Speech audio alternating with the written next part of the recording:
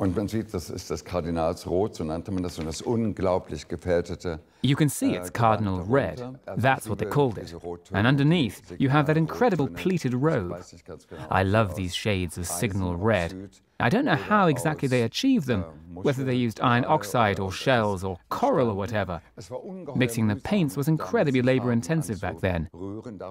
You'd have an army of assistants to do it. And of course, above all, you needed patrons because the colors were often made from precious stones, pulverized precious stones, and making them up involved lengthy grinding and mixing processes.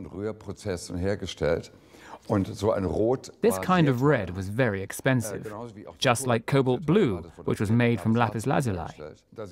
This man's a dignitary, and he's allowed to look very, very stern. And though he may recognize some higher authority, you can tell by his mouth that he wasn't above worldly misdeeds.